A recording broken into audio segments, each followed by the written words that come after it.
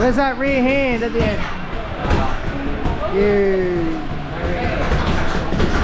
Up hook cross. Like that?